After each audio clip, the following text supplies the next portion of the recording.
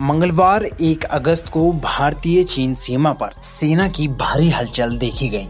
वाहनों की आवाजाही भी भारी रूप से देखी गई। किसी भी हालात से निपटने के लिए भारतीय सेना इस इलाके में राशन मेडिकल असिस्टेंस और दवाइयाँ पहुँचा रही है लेकिन सीमा पर हालात इतने तनावपूर्ण आखिर कैसे हो गए और लगातार हालात क्यों बिगड़ते जा रहे हैं दरअसल मीडिया रिपोर्ट्स की माने तो 29 अगस्त को चीन से सटे पूर्वी लद्दाख के इलाके में चीनी सैनिकों ने घुसपैठ करने का प्रयास किया। जानकारी के मुताबिक, भारतीय और चीनी सेना के बीच ताज़ा झड़प पैंगोंग सो झील के दक्षिणी किनारे स्थित एक चोटी को लेकर हुई। ये चोटी एलएसी से भारतीय सेना की तरफ़ स्थित है, लेकिन चीन इस पर अपना दावा करता रहा है। 29 अगस्त को भी करीब 200 चीनी सैनिक इसी इलाके को कब्जाने के लिए भारतीय सीमा में घुसने का प्रयास कर रहे थे। लेकिन सेना के बयान के मुताबिक, भारतीय सेना ने उस दिन चीनी सैनिकों को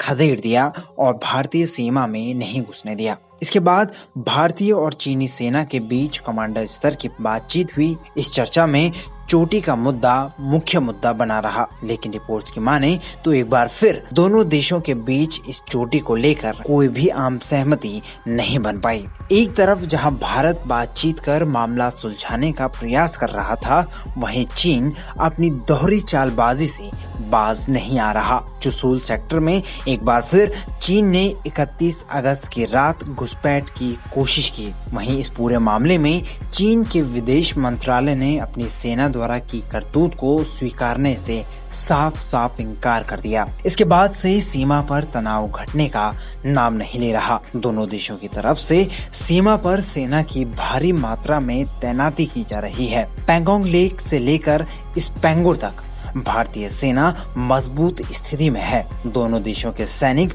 फॉरवर्ड लोकेशन पर तैनात हैं और भारी हथियारों से लैस भी हैं। सोमवार और मंगलवार को रक्षा मंत्री Rajnath Singh, NSA Ajit Doval, CDS general Bipin Rawat और तीनों सेनाओं के चीफ के साथ साउथ ब्लॉक में कई दौर की मीटिंग हुई चीन और भारत के बीच इस झील को लेकर पिछले तीन साल में चार बार झड़प हो चुकी है इस साल पाँच मई को दोनों सेनाएँ आमने सामने आ गई थी, लेकिन 15 जून को हिंसक झड़प में दोनों सेनाओं को भारी चोटें आई थी। एक तरफ़ भारत ने जहाँ 20 जवान खो दिए थे, वहीं मीडिया रिपोर्ट्स के मुताबिक चीन ने करीब 40 सैनिकों को गंवा दिया था। इस पूरे मसले पर क्या है आपकी राय? और क्या आपको लगता है कि ये मसला जल्द सुलझ जाएगा, ये बातचीत से सुलझ जाएगा, या फिर ये विवाद एक बड़ी जंग में तब्दील होगा?